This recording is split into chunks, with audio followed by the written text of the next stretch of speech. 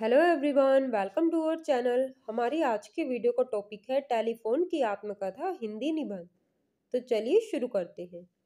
मैं टेलीफोन हूँ। मेरा कार्य लोगों को एक दूसरे से बात करवाना है। आजकल मेरा ही एक प्रारूप है जिसे लोग चलाना बहुत पसंद करते हैं, जिसे मोबाइल कहा जाता है। लेकिन मैं टेलीफोन हूँ, जो कई ऑफिसों में आजकल देखने को मिलता हूँ। आज से कुछ समय पहले मेरा प्रचलन सबसे ज़्यादा था। लोग अपने घरों में, ऑफिसों में मुझे लगाना, मेरे द्वारा बात करना बहुत ही ज़्यादा पसंद करते थे। मैं नया नया था और जिसके घर में लगाया जाता था, लोग उस घर की काफ़ी तारीफ़ करते थे। लेकिन धीरे धीरे मेरा प्रचलन कम होता गया, क्योंकि बहुत से लोगों ने धीरे धीरे मुझे अपने घरों में लगाना शुरू कर दिया।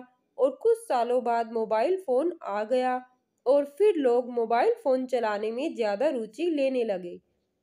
क्योंकि मोबाइल फ़ोन सिर्फ़ एक फ़ोन नहीं होता, बल्कि उसमें बहुत कुछ होता है। मोबाइल फ़ोन में आप इंटरनेट चला सकते हो, मोबाइल फ़ोन में आप गेम भी खेल सकते हो।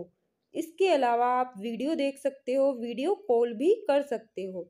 वास्तव में मोबाइल फ़ोन अपने आप में बहुत ही महत्वपूर्ण होता है आज से कुछ सालों पहले जब मेरा आविष्कार हुआ तब मैं काफ़ी खुश था। जो वैज्ञानिक मुझे इस दुनिया में लेकर आया, मैं उस वैज्ञानिक का दिल से शुक्रिया अदा करता हूँ। मैं अपने जीवन में आज भी बहुत खुश हूँ, क्योंकि मैं कुछ लोगों के लिए काफ़ी महत्वपूर्ण हूँ। मैं अक्सर जिस भी ऑफ़िस में लगाया जाता हूँ, ऑफ़िस के लोग दिन दिन भर अपने ऑफ़िस के कार्यों की वजह से मेरे द्वारा बातचीत करते हैं। मेरे जीवन की आत्मकथा बस इतनी ही है। तो फ्रेंड्स, इस तरीके से आप टेलीफोन की आत्मकथा हिंदी निबंध लिख सकते हैं। आई होप ये वीडियो आपके लिए हेल्पफुल रहेगी। वीडियो अच्छी लगे, वीडियो को लाइक, शेयर, चैनल को सब्सक्राइब ज़रूर करें। धन्यवाद।